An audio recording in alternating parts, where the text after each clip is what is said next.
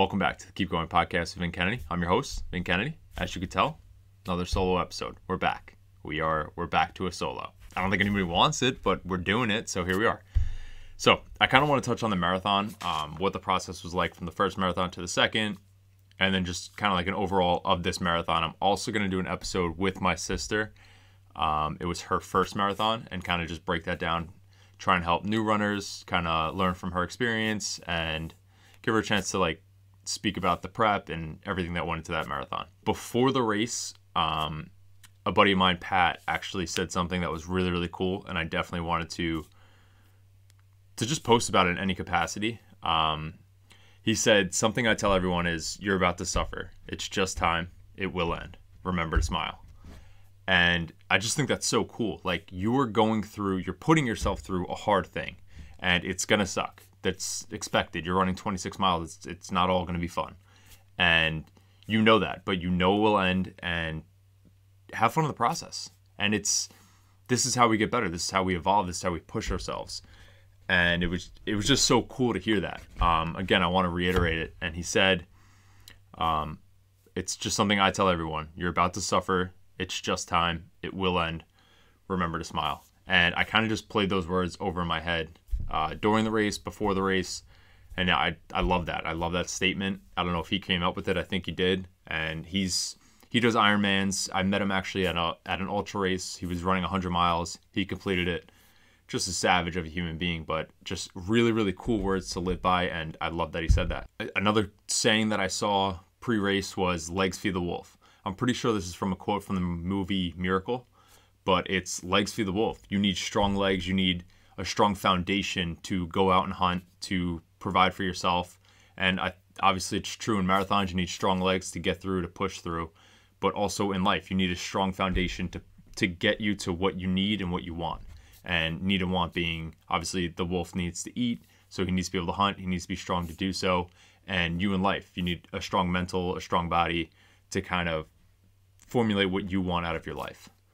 Um, so that was that was just another really cool thing that I kept kept seeing, kept circulating. And a couple days leading up prior to the race, something I was thinking of is you know you, you're trying to map out when you're going to push it, when you're going to take it easy. So you gotta you gotta know the course. Um, and I will get into that with the race, but something that just popped in my head was I have an electric car, I have a Tesla, and I was thinking of how I'm, I'm always like conscious of conserving battery. You charge at your house, it, it, it, they say it costs like an extra load of laundry a week but you know, and you get, uh, I think I get 280 miles for a full charge. But I sit there and I, I'm always conscious of like, oh, I don't need the heated seat all the way up. Oh, I don't need the AC, the AC blasting. I don't need the heat blasting. I don't need the heated steering wheel on. And I'm always trying to conserve, conserve, and conserve. And obviously, when it comes to racing and, and life, I think this applies where it's like, if you're always conserving the battery, what are you conserving it for? So in the race, for example, that last 10K, or whenever you can, um, and, and you strategically map it out, you should push it. You should put your foot to the gas and just give maximum effort, or at least close to maximum effort, and give what you could. Um, and I think the same with with my Tesla. It's like, you know, if if it's a really cold day, blast the blast the heat. Who cares? Like you're gonna go home and charge it anyway. And I, I think that's just something I'm gonna apply more to in my life. Um, and then just even in life as a whole, I feel like we're always putting things off and always, you know, when I get that, then I'll enjoy this. Or, you know, when I get the dream physique or when I make X amount of dollars or, you know, I want this in my savings until I do that. Or I want, you know, I have a, I have a big Italy trip coming up in September with my mom. And, you know, I've been sitting here and I'm like, I could definitely make it work, but is it the best idea? And I'm like, well, what if I'm not here next year to make Italy happen? So it's like, don't always conserve the battery and forget to live your life. Lastly, and then we'll just dive into the marathon, is uh, if you think marathons or racing is about beating anyone other than the person in the mirror, you already lost. Um, marathons are about beating personal PRs, about beating the clock. You're racing nothing but the clock in any race. Um, I don't care if it's 100 miles, I don't care if it's a 5K. The person next to you is not your competition. And, you know, it's easy to get caught up when you're running and you, you, you're close to people, but use it as a push. You're not, you know, if you pass someone, you see them gas out. Like, I I try and say encouraging words. This race, I didn't get a lot of chances to speak to many people. Um, I had a couple conversations, but I was kind of just just pushing it and, and, trying to really stay in my zone. And uh, but but just in the past, I know like even running on the boardwalk, and you have no idea what mileage people are at or how far they're running that day. And it's just there's no reason not to be supportive because everyone, just like in life, is running their own race and on their own path. For those of you that don't know, I went to the Mesa, Arizona Marathon, and this was my second. I consider it second real marathon. Third marathon is a total. Uh, my first marathon I ran in 2020 with basically no training.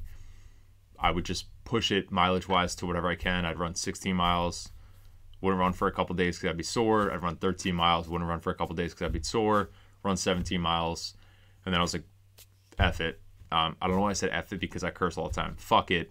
Um, I'm just gonna run a marathon. So I did, and destroyed my body, destroyed myself. Uh, I think it took like four hours and 30 minutes, which is for me personally, skill wise, is very slow.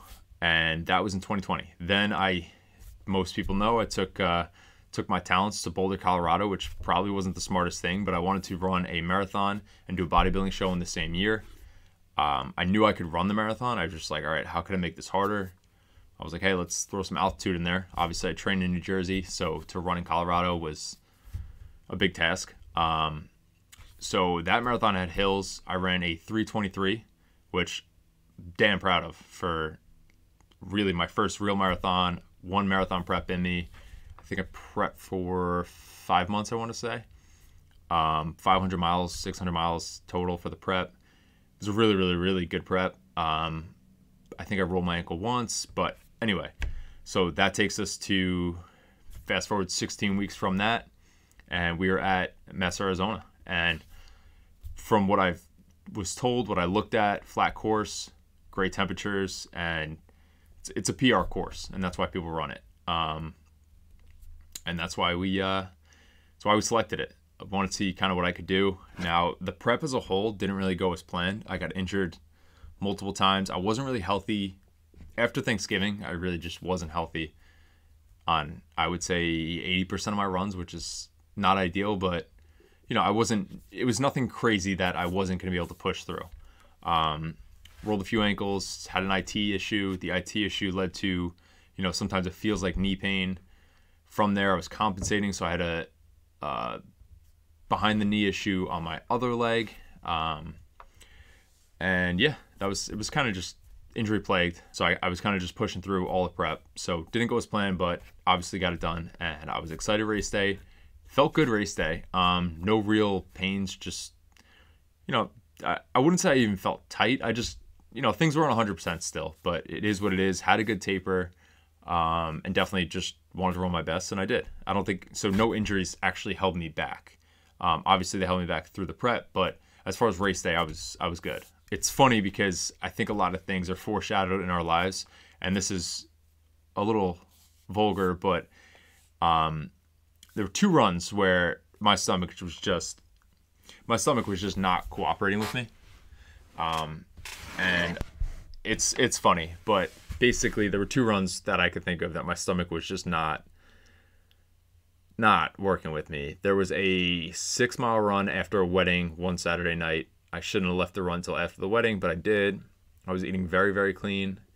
Uh, went to the wedding, had potatoes. They were cooked in some sort of oil and spices or whatever, sauce, whatever, and they destroyed my stomach. So, with that being said, after the wedding, I knew how to get my miles done. So, went, got my miles done, and I would say right before the end of the mileage or of the run, my stomach was just exploding. And not to be vulgar, but I had to utilize a bathroom, which was not anywhere to be found.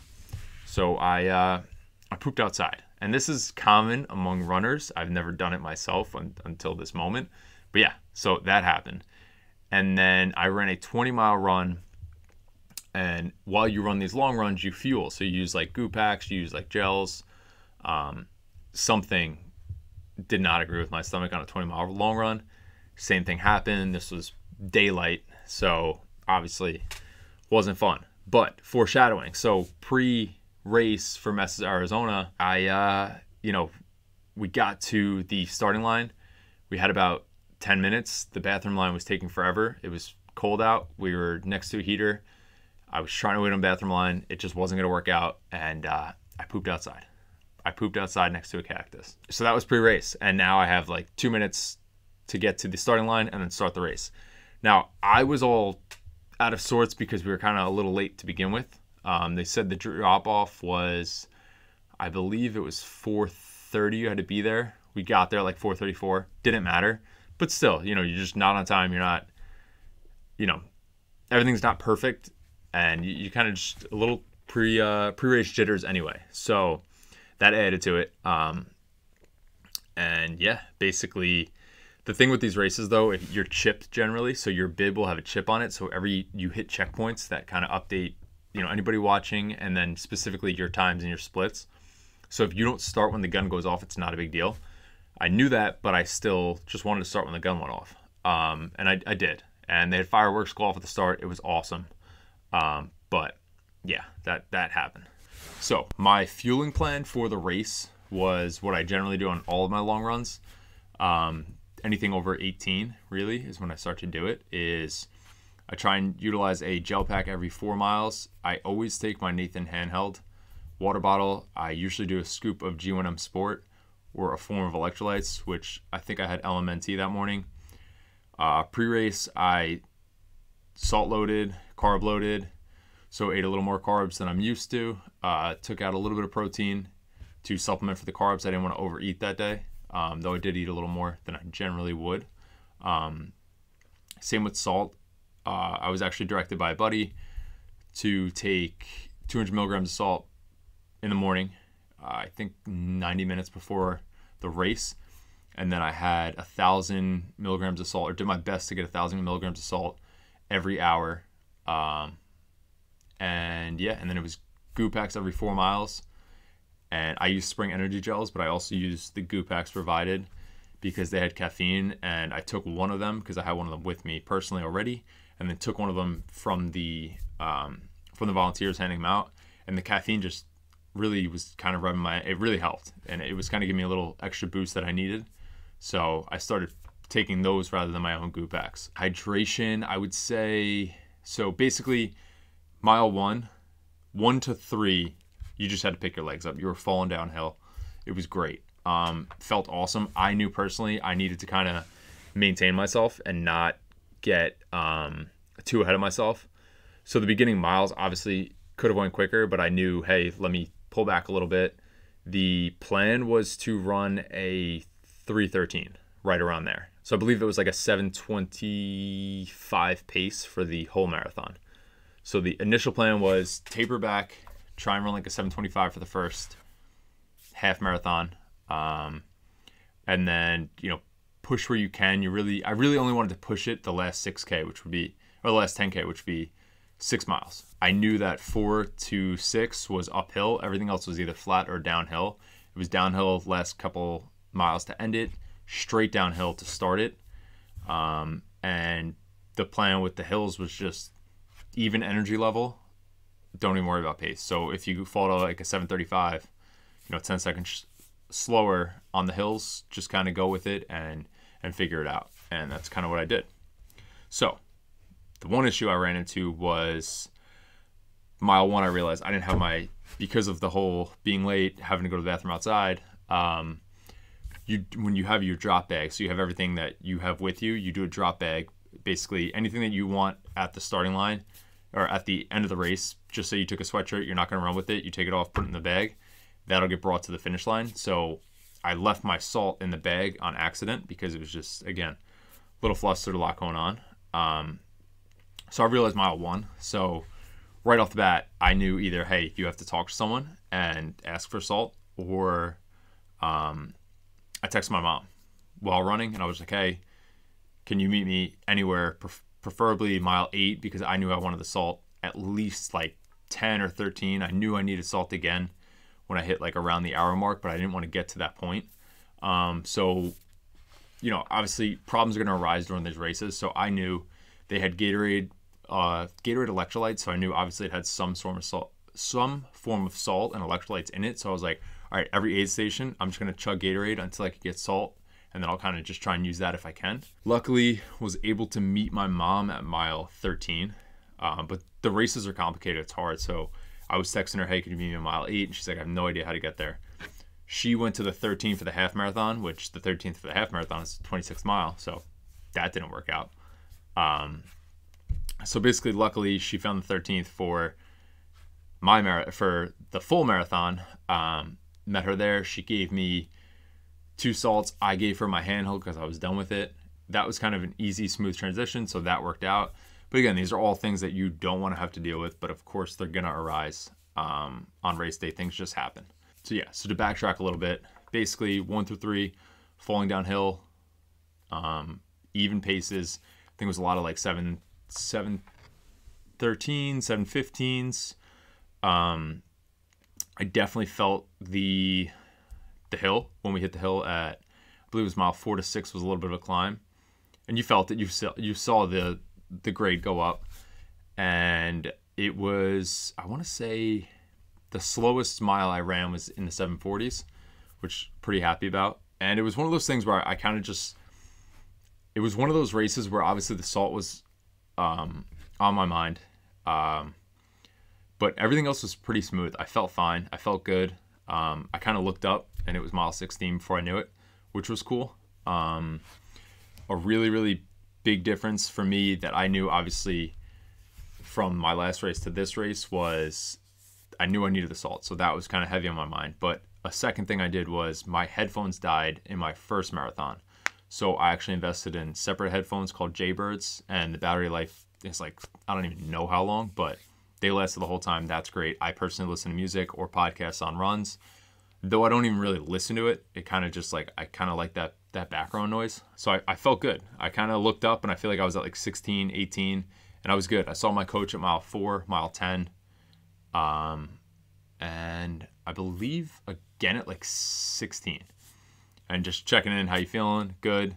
I tossed him actually my quarter zip, um, and yeah, it was just felt good. I was on pace to go sub 313 from from what I knew, and and I was excited. The great thing with this course is it's downhill and flat often. So one to three downhill, three, uh, four to six uphill, but everything else is flat, and then the ending is downhill again.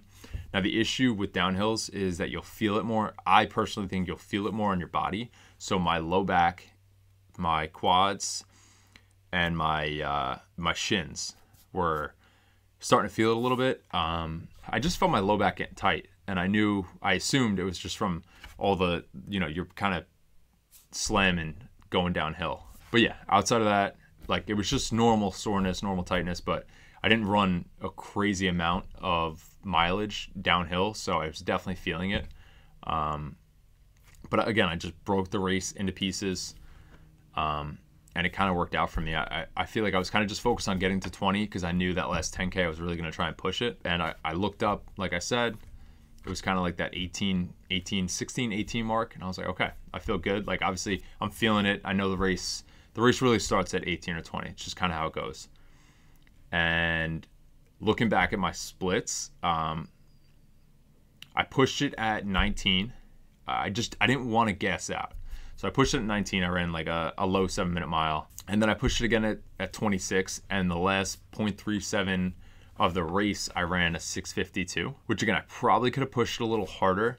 The, but the big thing that I realized in this race is that I wasn't running, I was racing. So in Colorado, I was just running. I was running for dear life and just kind of holding on, really. I was just kind of hanging on, trying to get to the finish line. This one, I was, I raced. I had a plan I was executing the plan, and it felt good. Um, I didn't want to gas out too soon. I probably, obviously, could always run a little faster. I definitely could have ran a little faster. I pushed it where I felt I could. I kind of pulled back when I felt I could, when I felt I needed it. Um, one thing I was monitoring was my heart rate. My heart rate was fairly low for a majority of the race. I think I averaged like a 158 heart rate, which now looking back, now I know the next one I could push a little harder because I was able to maintain that. I had another fast mile around mile like seven. I think I ran like a 657, which are just good indications that like you could push a little harder. Obviously, I'd rather not do it that early, but I, am assuming it was somewhat downhill or flat. and I was feeling good. So yeah, I was really happy about that. Um, I ran a 3:11:58, so three minute, uh, three hour, three minutes, three hour and 11 minute uh, marathon, just sub uh, 312. The goal, as per my coach, was a 313. So obviously hit that. Personally, I wanted to run under a sub 310. There is something I just don't know if my watch registers as well as my Garmin did. I now wear a Coros, but it, I feel like pace wise, it kind of just gets thrown off. Like sometimes it would say I was at like a seven even, and then I would talk to the guy next to me, and he was like, "Yeah, no, we we're at like a seven ten or 715," and I was like, "Oh, that's weird." But again, I didn't want to. I just didn't want to go, you know, foot on the gas and burn out.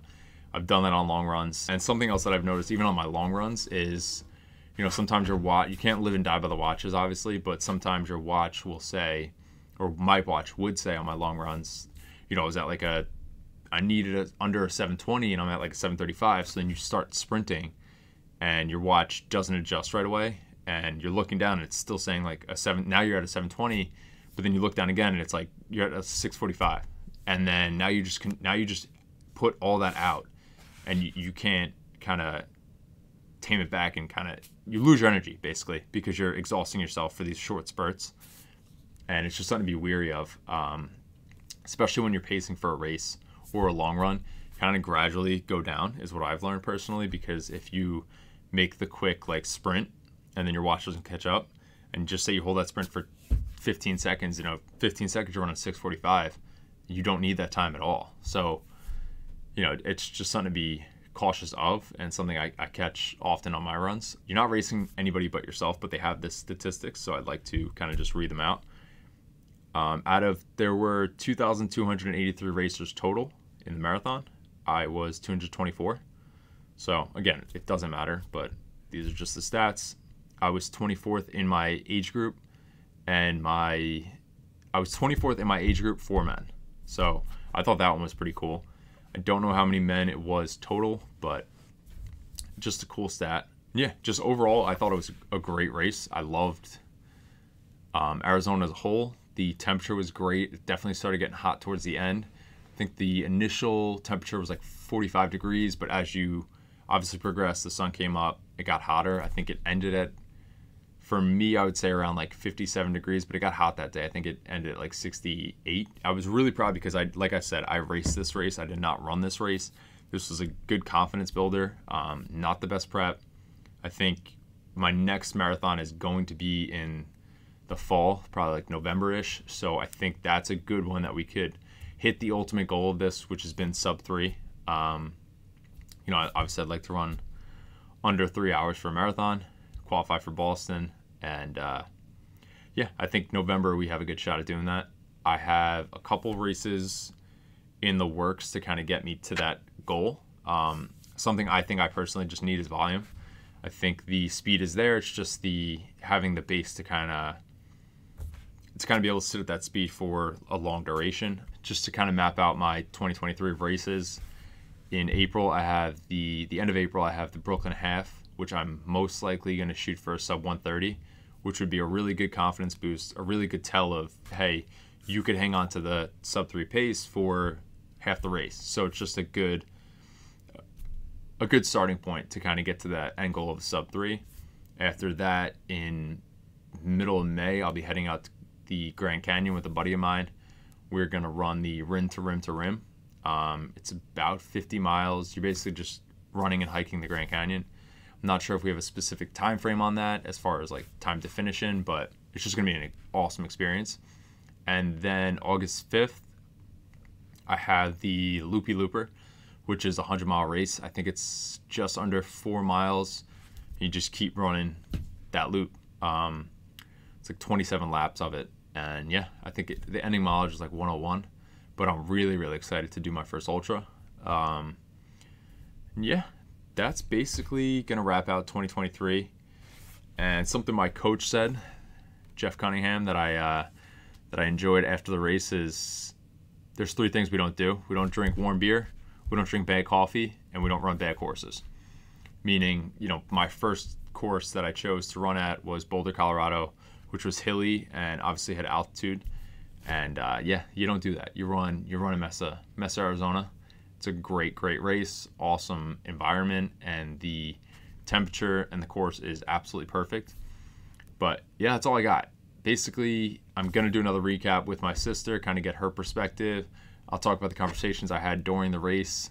Um, but I kind of wanted to do my own breakdown of it. And thank you guys for listening. Appreciate it.